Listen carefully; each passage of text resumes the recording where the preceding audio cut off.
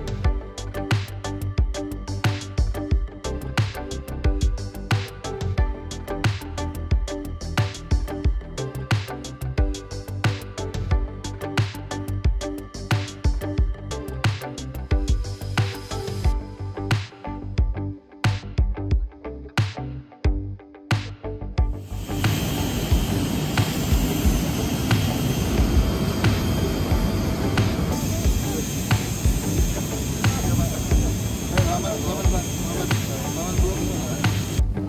be exchanged by His Excellency Minister of State for Defense, and His Excellency Prabowo Subianto, Minister for Defense.